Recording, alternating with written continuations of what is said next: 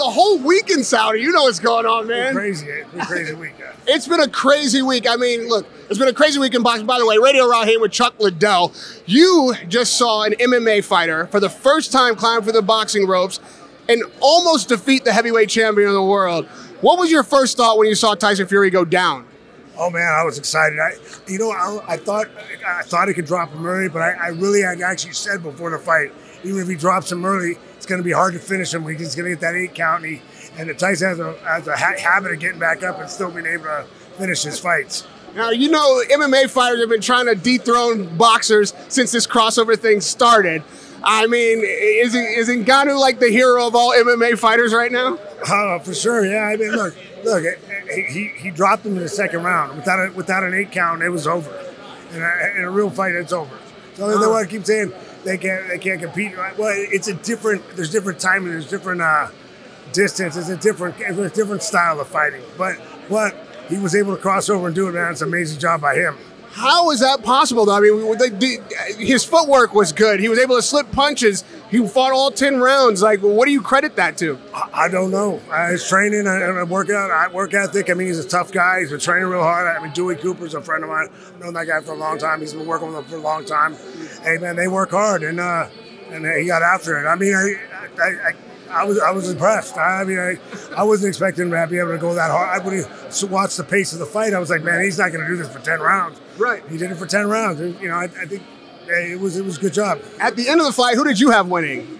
I had Fury winning by the, by the way boxing scoring goes. I wa- you know I was watching it. I'm, I, I would love it to go more by damage and how, who put more damage on the other guy. Right. Because that's my style of fighting. But but that's not how it is typically. So I, I had him win, but, but I mean the, the 96 93, that was a little, uh, Crazy, come on, right? right? Hey, look, at, I'm okay, uh, you know, close draw, with a slight win, okay, but uh, come on. Who would you like to see Ngannou face next? And do you believe he can beat any of these top heavyweights? Uh, I mean, I don't know. After after last night, man, it looked like he can do just about anything. So uh, I'm, I'm, I'm hoping he uh, has, but they'll figure something out. His camp, let his camp figure it out, and go out, out and have some fun. You know, there's a lot of money in, in crossover boxing right now. We're here in Saudi. A lot of the legends turned up. Ha- has this uh, piqued your interest at all? Oh man, I'm, I'm good being retired, but I, well, but it was it was great to watch, man. I had a good time. I mean, you know, back in back in my day, I'm 30, 53, man. I, you know, It's about time. You, you're good? I'm, I'm good. All right. Well, we respect that. Yeah, you've done plenty. You've done plenty. And lastly, you know, obviously Usyk, the undisputed fight for Tyson Fury is up next, either in December or a few months after that. Does what you saw last night change how you see that fight? You know, I, I don't, I don't know. I don't think so. I mean, I, I still think I still give it to Fury, but I, I mean, I, I Usyk's tough, man, and uh, it's, it's fun watching him. Yeah, he's an entertaining guy. I've never, never met, just met him out here. He's, he makes me laugh, man. He's a funny dude. Uh, lastly, do you have a like number one pound for pound in boxing?